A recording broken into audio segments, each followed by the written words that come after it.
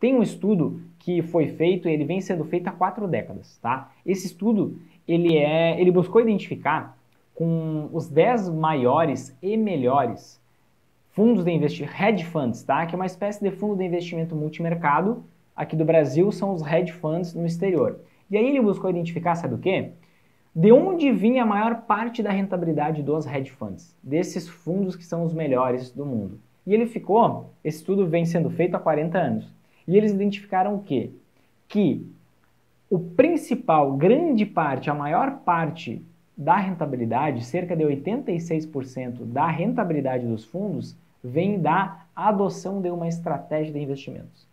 Do fiel cumprimento da estratégia, de não ficar saindo vendo diquinha, de não sair ver novidade, ficar olhando notícia, não. Simplesmente ter uma estratégia clara que dê resultado e seguir essa estratégia.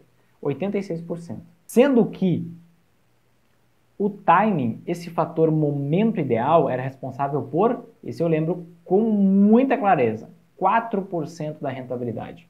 Ou seja, dos 100% de, de responsabilidade de vários fatores sobre a tua rentabilidade, desse 100%, 4% é o timing. É o fator menos importante de todos na hora de investir. Por quê? Porque tu não consegue adivinhar. Tu sempre está numa expectativa e a realidade não está nem aí para tua expectativa, nem para minha.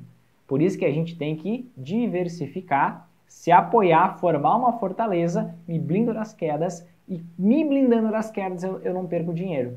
Com isso eu não preciso nem ter uma super rentabilidade para no longo prazo eu ter uma maior rentabilidade. Por quê? Porque o sub não cai, sub não cai, sub não cai. Mas não é uma subidinha de 1%, 2%, 5% ao ano. É muito superior a isso.